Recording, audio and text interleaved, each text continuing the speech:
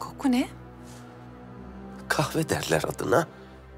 Çarşıda bir tüccar ahbabımdan buldum. Ben de ilk defa pişiriyorum sultanım. Böyle bir ibriğin içine konurmuş. Pişirildikten sonra sıcak şerbet gibi ikram edilip içilirmiş.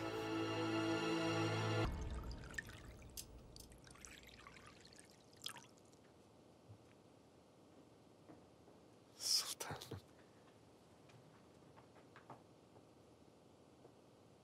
Sultanım.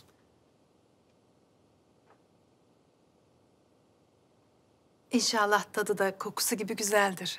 Şimdi anlarız sultanım inşallah.